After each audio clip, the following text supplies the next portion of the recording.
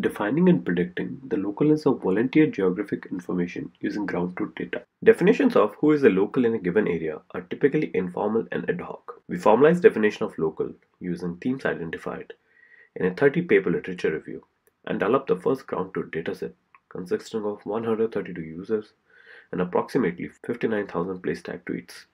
We use this dataset to evaluate existing localness assessment approaches.